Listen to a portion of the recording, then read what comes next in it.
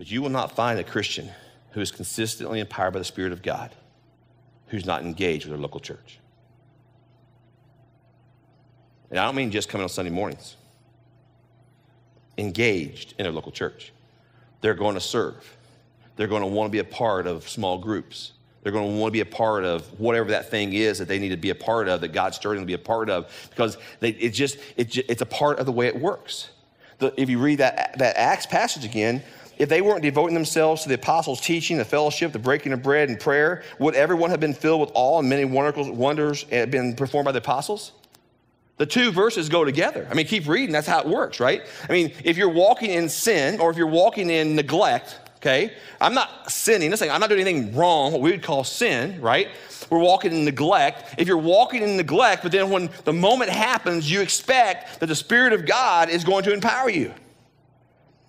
Like, I have a power bill comes to my house every month, okay? And the company expects me to pay the bill, right?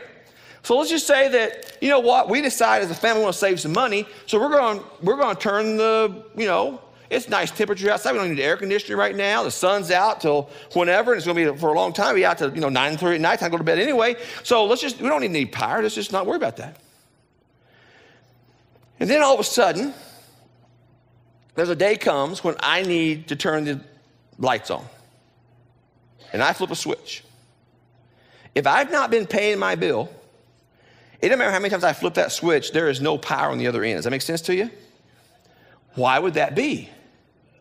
Because there is an expectation that the company who allows the power to get to my house has.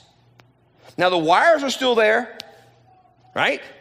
The way that the power gets from the power source to my house is still there. But when I stop paying my bill, it stops over there. There is someone who has to allow that power to flow to my house. So if you're a Christian, if the Spirit of God has indwelt you, if you know that you're saved, you're not going to lose your salvation. The wiring is still there.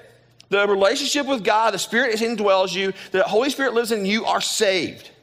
But that does not mean there is a power flow that is taking place. Because if you're not paying the bill and it's not by money, but it's by words like surrender and obedience and trust, about having a right heart and a right head, that kind of stuff, right? It's about being willing to surrender to God whenever God asks, those kind of things, whatever that word is. It's about not grieving and quenching the Holy Spirit, because grieving and quenching the Holy Spirit turns off the power source.